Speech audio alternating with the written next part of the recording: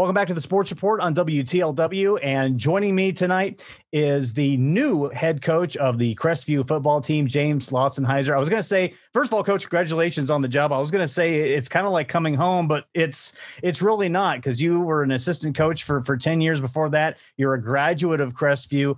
Um, how does it feel now to be in the head uh, spot for the football team now? It's exciting. Uh, it, it's a, a tremendous opportunity.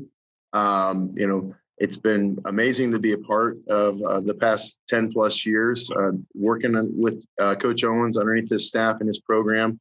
Um, obviously, I love this community. I get to work here uh, and, and, live here on a daily basis with my family. So, an opportunity to continue to lead our student athletes is a great uh, challenge for me and our staff, but it's a great opportunity to continue the culture of our program going forward you've been able to have input, as you said, into the culture, and you've been able to do a lot of those things that you mentioned, uh, even as an assistant coach. What uh, what persuaded you? What motivated you to want to step into the spot of of head coach with all of the additional responsibility and challenges that that carries?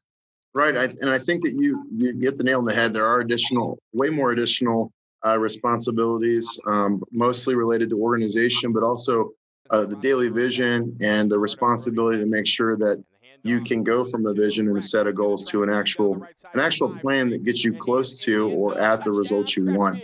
Um, I had an opportunity to be a head coach uh, here at Crestview for almost a decade with track and field. Completely different animal, um, but you do get comfortable sometimes with being an assistant and knowing that there's some things that the head coach is going to take care of. You kind of feel liberated. Uh, that liberating feeling changes uh, immediately. I can tell you, uh, a week into this new gig, there's a, a lot uh, more stuff on the plate, but it's been exciting it's also uh, very nice. It's very comforting to know that when I need to talk to the old ball coach, Jared Owens, he's literally right down the hallway and he can go in and ask him a question about, hey, how did this work last time when, we, when you did purchase recs or budgets? Or what do you think about this going forward? And that's nice um, knowing that this is my program to lead and to direct, but also to be able to use a good friend, uh, my former head ball coach, and a former teammate of mine to kind of use as a as a you know an advisory sounding board. What advice did did Jared give you when switching over jobs? Like, has he given any kind of nuggets of wisdom as you've as you've officially taken over as head coach?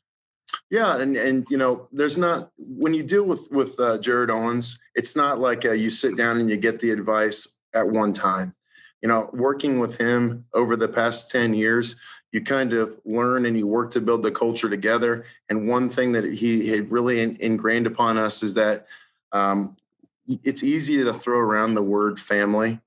Uh, on a daily basis, our kids need to see and feel us caring about them and, and caring for them, working with them to make sure that this is a lot larger than just a game of football.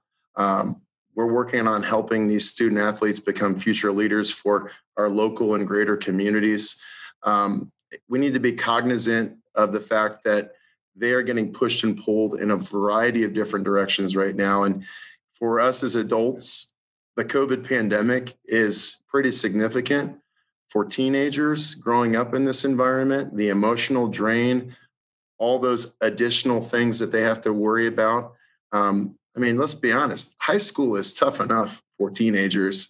Um, they've got a lot going on right now we need to make sure that we are not adding too much to their plate, but we need to get them prepared mentally. We need to get them prepared emotionally and physically um, for the football season.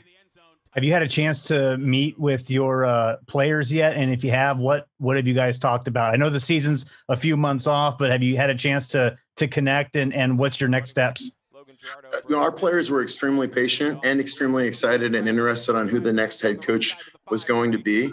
Um, we had a, a, variety of candidates um, um, from internal staff, so they knew it was going to be someone probably that they already knew, and they were excited about who was it going to be. And um, the good news is, is that our staff um, that worked for Coach Owens last year, um, even before the interview process even worked out or began, uh, we had all of our shovels in the dirt helping out with strength and conditioning for off-season workouts, uh, really trying to work together and collaborate. There wasn't any like uh, power play or, or jockeying, things like that. So I think that that shows that the culture we have here is invested in our student athletes.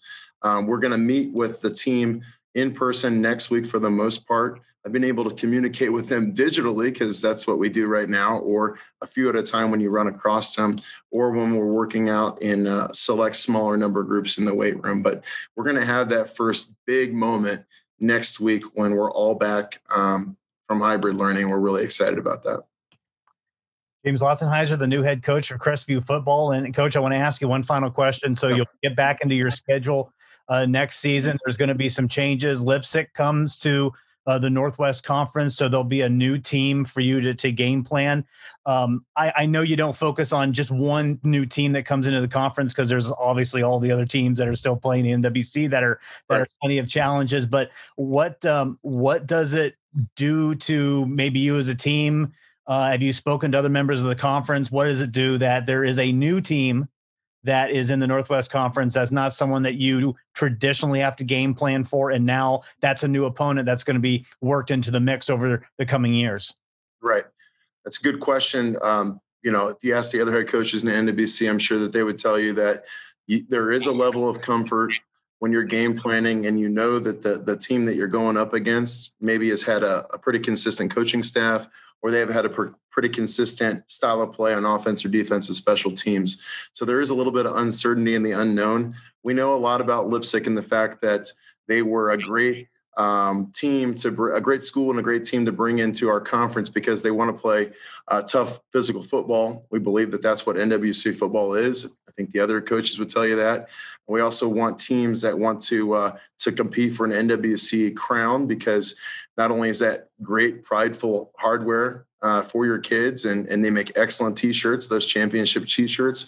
But we know that if you're in a position to compete to win the NWC, you're going to be in an opportunity most likely to get a chance to uh, compete in the OHSA playoffs, and that is one of our goals. It's not the first of our goals. You know, I'll be honest with you right now.